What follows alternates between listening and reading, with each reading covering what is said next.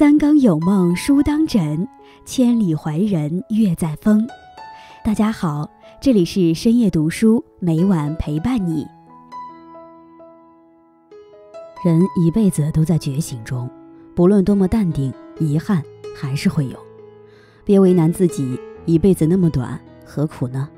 世界很大，个人很小，没有必要把一些事情看得那么重要。人生不如意事常八九，何必要强迫自己？学会知足，常想一二，努力过，尽心了，无论结果是否理想的都无所谓了。红尘过往，没有人握得住地久天长，唯有珍惜现在。活着想那么多干嘛？别有事没事的整天瞎琢磨。想通了自然好，想不通心就受折磨。心情是自己的，心灵更是自己的。今天叶安将和大家分享的题目是：让你看清人和事的十四件小事。在开始今天的节目之前，希望大家能点击订阅和小铃铛。你的点赞和评论是叶安最大的动力，感谢大家的喜欢。深夜读书因你们而精彩。同样的努力，不同的结果。人骑自行车，两脚使劲踩一个小时，只能跑十公里左右；人开汽车，一脚轻踏油门，一小时能跑一百公里；人坐高铁，闭上眼睛，一小时也能跑三百公里；人乘飞机，吃着美味，一小时能跑一千公里。感悟：人还是那个人，同样的努力，不一样的平台和载体，结果就不一样了。搬起石头砸自己的脚。在一次宴会上，马克吐温与一位女士对坐，出于礼貌，说了一声“您真漂亮”。那位女士却不领情，高傲地说：“可惜我无法同样来赞美您。”马克吐温委婉平和地说：“那没关系，你可以像我一样说一句谎话就行了。”那位女士羞愧地低下了头，感悟：你扔下的石头绊倒的往往是你自己。高在忍，贵在让。野猪和马一起吃草，野猪时常使坏，不是践踏青草，就是把水搅浑。马十分恼怒，一心想要报复，便去请猎人帮忙。猎人说：“除非马套上辔头，让他骑。”马报复心切，答应了猎人的要求。猎人骑上马，打败了野猪，随后又把马牵回去，拴在马槽边。马失去了原先的自由。感悟：你不能容忍他人，就会给自己带来不幸。思维方式：一户人家有三个儿子，他们从小生活在父母无休止的争吵当中，他们的妈妈经常遍体鳞伤。老大想，妈妈太可怜了，我以后要对老婆好点儿。老二想。结婚太没有意思了，我长大了一定不结婚。老三想，原来老公是可以这样打老婆的呀。感悟：即使环境相同，思维方式不同，也会影响人生的不同。贪满多损，谦卑多福。老鼠掉进了半满的米缸，意外让它喜不自禁。确定没有危险后，它便开始了在米缸里吃了睡，睡了吃的生活。很快，米缸就要见底了。可他终究还是摆脱不了大米的诱惑，继续留在缸里。最后米吃完了，他才发现跳出去只是梦想，一切都无能为力了。感悟：我们的生活看似平坦，其实到处都是危机。换位思考：第一天，小白兔去钓鱼，一无所获；第二天，他又去钓鱼，还是如此；第三天，他刚到，一条大鱼从河里跳出来，大叫。你要是再敢用胡萝卜当鱼饵，我就扁死你！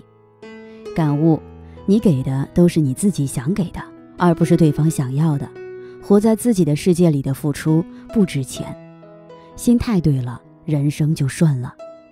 一个朋友是医生，一次癌症手术打开后发现切不了，只好再缝上。去和病人解释情况，那病人农村来的，听不懂术语，坚持认为手术过了，病就好了。只好让其出院，一年后回访，真的好了，癌细胞消失了。感悟：乐观的心态是最好的手术。把握时机。那年他坐在咖啡店等朋友，一位女孩走过来问：“你是通过王阿姨介绍来相亲的吗？”他抬头打量了一下她，正是自己喜欢的类型，心想何不将错就错，于是忙答应道：“对，请坐。”结婚当天，他坦白，当时自己不是去相亲的。老婆笑说：“我也不是去相亲的，只是找个借口和你搭讪。”感悟：机遇来了，要毫不犹豫地抓住它。放下便是拥有。在高速行驶的火车上，一个老人不小心把刚买的新鞋从窗口掉了一只，周围的人倍感惋惜。不料，老人立即把第二只鞋也从窗口扔了下去。这个举动让人大吃一惊。老人解释说：“这一只鞋无论多么昂贵，对我而言已经没有用了。如果有谁能捡到一双鞋子，说不定他还能穿呢。”感悟：注定无法挽回的痛苦，不如早点放弃。人只有学会放下，才不会自寻烦恼、纠结难过。人只有做到放下。才不会斤斤计较、怀恨在心。人只有坚持放下，才不会消极悲观、活得压抑。放下其实很简单，不要太在意，选择看淡，不要想太多，努力忘记，不要总纠结，果断舍弃。在时间的洗涤下，伤痕一定会痊愈。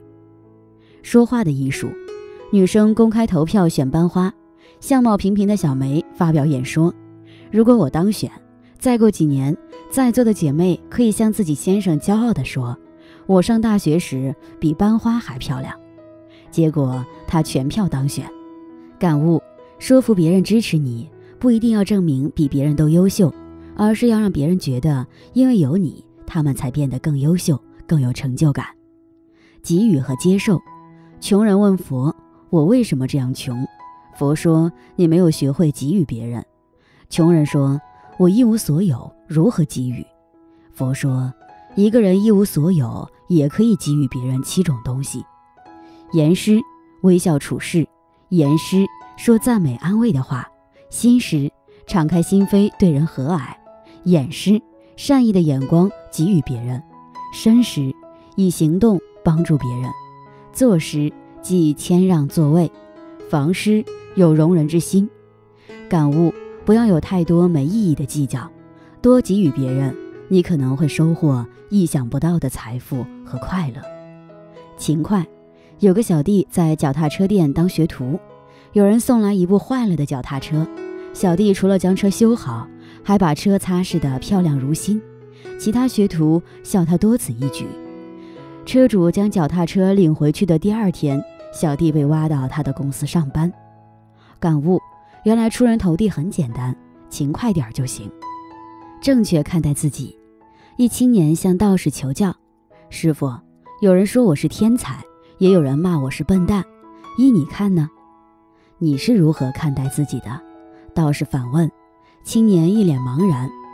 譬如一斤米，在饼家眼里是烧饼，在商家眼中是酒，在乞丐那里就是救命的一顿饭。米还是那米。青年豁然开朗，感悟：只有我们自己能决定我们自己的样子，而别人是以你看待自己的方式看待你，适合自己才是最好的。虾见到螃蟹身上有时呈现出好看的红色，很是羡慕。螃蟹告诉虾，它常常跑到陆地上晒太阳，当强烈的阳光照耀它时，身上便呈现出好看的红色。虾听后兴奋不已，一跃跳到了岸上，也学着晒起了太阳，结果却被太阳晒死了。感悟：生活是什么？生活不是一场比赛，非得和别人去竞争。和不爱酒的谈论不出酒多醉人，和不爱茶的讨论不出茶多香醇。自己的生活自己开心就够了，无需盲目模仿别人，适合自己的才是最好的。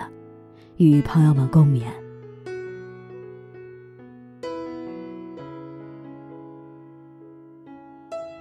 今天分享到这里，如果你也喜欢这篇文章，并且让你深有感触，希望你能分享给身边的人，让我们一起在阅读中成为更好的自己。最后，在 YouTube 和 Facebook 上都能找到深夜读书哦，依然期待与你的互动。感谢你的收看，我们下期再见。